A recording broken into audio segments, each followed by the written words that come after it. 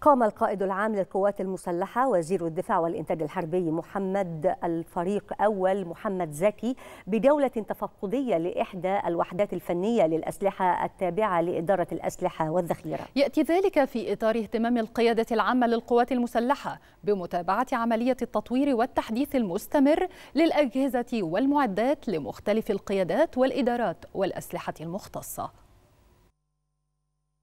قام الفريق أول محمد زكي القائد العام للقوات المسلحة وزير الدفاع والإنتاج الحربي بجولة تفقدية لإحدى الوحدات الفنية للأسلحة التابعة لإدارة الأسلحة والذخيرة وذلك في إطار اهتمام القيادة العامة للقوات المسلحة بمتابعة عملية التطوير والتحديث المستمر للأجهزة والمعدات لمختلف القيادات والإدارات والأسلحة التخصصية.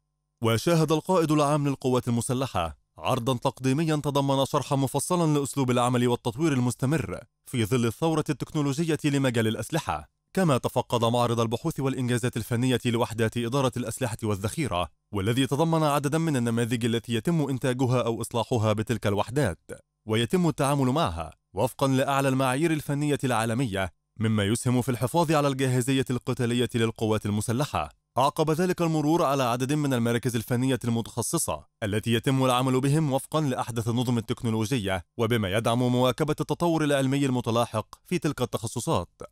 كما استمع القائد العام للقوات المسلحة لعرض تضمن مقترح إنشاء مركز تطوير الأسلحة الصغيرة. تضمن شرحا مفصلا لمحتويات المركز وآليات العمل به بما يؤهل المتخصصين لتحقيق الاستفادة القصوى من المركز واللحاق بالركب العالمي في مجال الأسلحة الصغيرة.